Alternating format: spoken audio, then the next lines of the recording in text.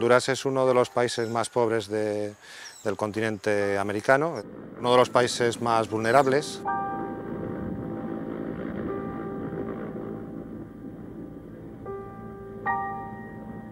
Tiene bueno, pues grandes problemas económicos que se redundan en grandes eh, problemas a nivel de la salud y a nivel de la educación.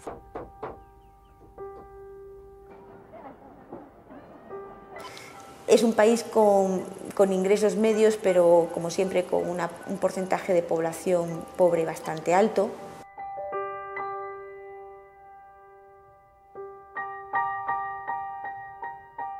Las necesidades existen, existen y es claro cuando tú vas a una escuela o cuando vas a un centro de salud.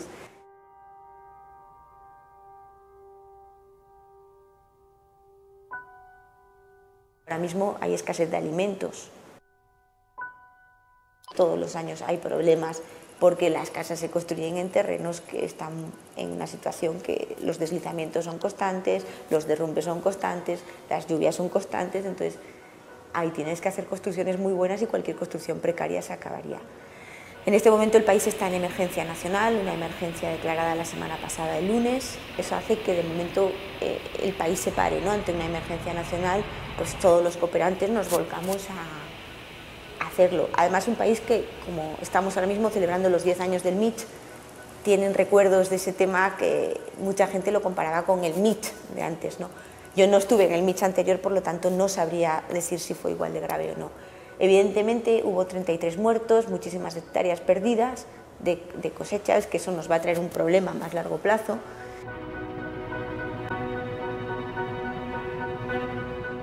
En 1998, Honduras sufrió una de las peores tragedias en la historia de Centroamérica. El huracán Mitch devastó el país dejando 5.657 muertos, 8.058 desaparecidos, un millón y medio de damnificados y pérdidas materiales por 5.000 millones de dólares. El Mitch agravó la situación de una población ya de por sí extremadamente pobre.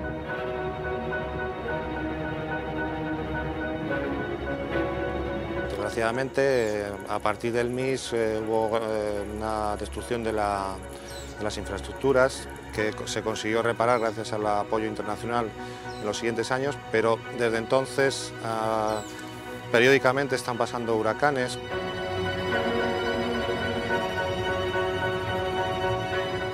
En estos días, pues que la depresión tropical número 16, que no ha llegado ni a categoría de huracán, pero que ha tenido durante 15 días lluvias persistentes y ha producido pues, en todo el país, además de las grandes destrucciones, más de 50.000 personas eh, en los albergues, 170.000 damnificados y más de 50 muertos.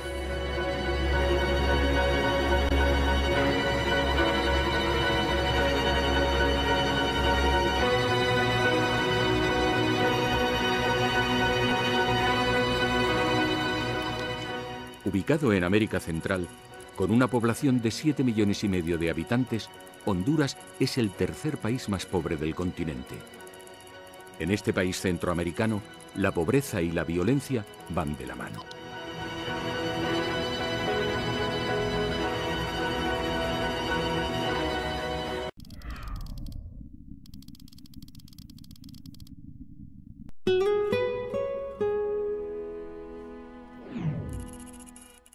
Antecedentes.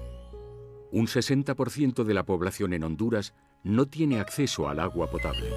Solo un 10% de quienes cuentan con este servicio lo reciben de forma continua. Únicamente el 36% de la población cuenta con los servicios básicos de saneamiento.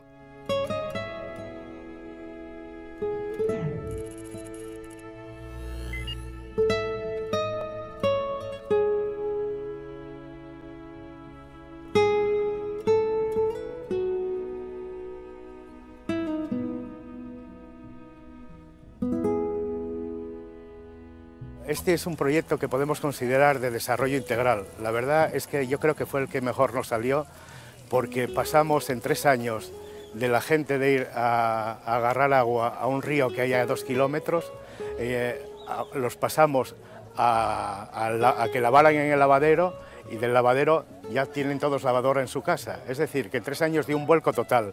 Era una aldea muy pobre y, ya veis vosotros que se ve el progreso que hay.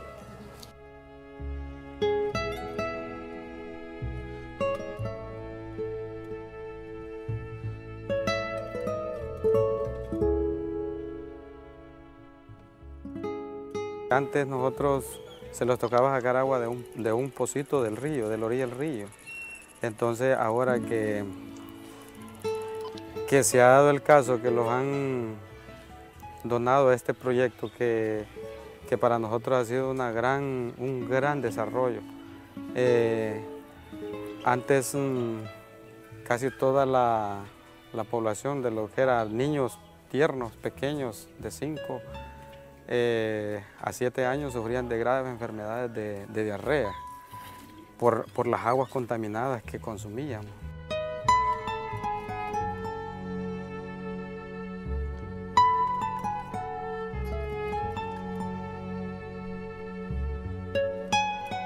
Nosotros tenemos cuatro años que, los niños no visitan los centros de salud en ese aspecto.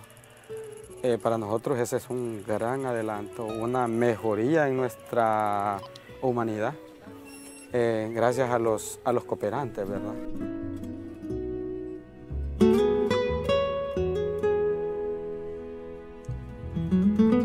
Aquí, como veis, llueve mucho, el agua está a flor de piel, había mucha cantidad de agua, lo que pasa es que era agua de mala calidad. Y lo que se hizo simplemente fue hacer un depósito y clorarla con eso ya eh, las enfermedades de origen hídrico disminuyeron un 90% y bueno, eh, veis que la aldea es, próspera ¿no? y que es un proyecto de desarrollo. De hecho, se están haciendo muchas viviendas porque está cerca de una gran ciudad que se llama San Pedro Sula, que al ser un poco insegura, pues la gente se compra un terrenito en el campo, se hace su casa y está a 10 minutos de su puesto de trabajo. Proyecto abastecimiento de agua para colonias de familias campesinas en extrema pobreza. Mejora de la salud y calidad de vida de la población gracias a la mejora de la calidad del agua. Disminuir los casos de enfermedades diarreicas, especialmente entre la población infantil. Ejecuta. Geólogos del Mundo Asturias. Financia. Gobierno del Principado de Asturias. La gente está muy contenta y, también eh, contamos con la participación de ellos, porque ellos, los proyectos no se hacen para, como si dijéramos, llave en mano, sino que luego eh, tienen que tener una continuidad y ellos realmente son los que le dan la continuidad.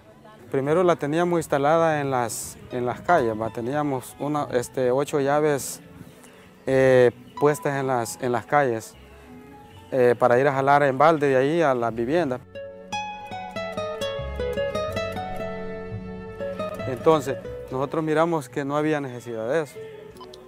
El pozo tenía la capacidad y todas las cuestiones. Entonces decidimos, todos los, miembros, eh, tomarlas, poner este, la tubería ya de las redes que dejaron instaladas. Instalamos nosotros las entradas a las viviendas. Ya gracias a Dios tenemos el agua potable en las, en las casas.